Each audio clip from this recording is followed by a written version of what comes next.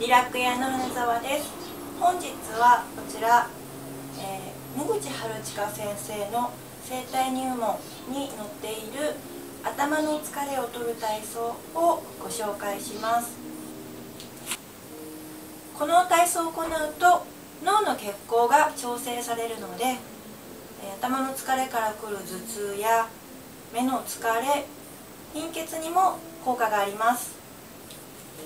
この体操では上径と言われる頸椎2番の横を押していきます、えー、場所としては後頭部のすぐ下後頭骨のすぐ下にある、えー、首の上の方のくぼみ部分ですね。の頭と首の付け根のくぼみ部分にが上径というポイントになります。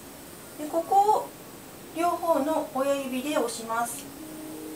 このように手を組んで親指で当てて押すわけですけれどもここに当てた状態でを向いていきます。そして、えー、手で押しているというよりもこの親指の部分に当てたまま上を向くことで、えー、深く入っていく。親指の上に情景を乗せるというような感じにします。そして12345秒かけて戻しますね。これを34回行いますね。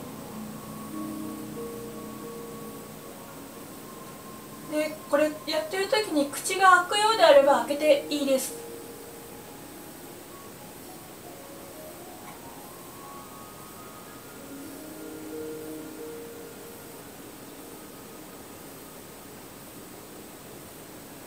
頭の中を緩くするような気持ちで気持ちよくやってください。もう一度行います。乗せるようにして上を向いて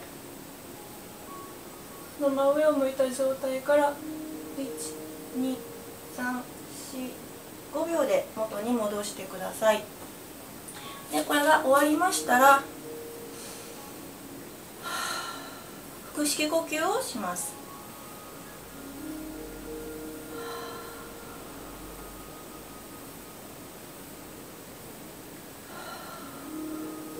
中に空気を入れる膨らませるようにして中に力を入れて吐きますね。鼻から吸って口から吐いてお腹をへこませるようにします。以上が頭の疲れを取る体操です。ありがとうございました。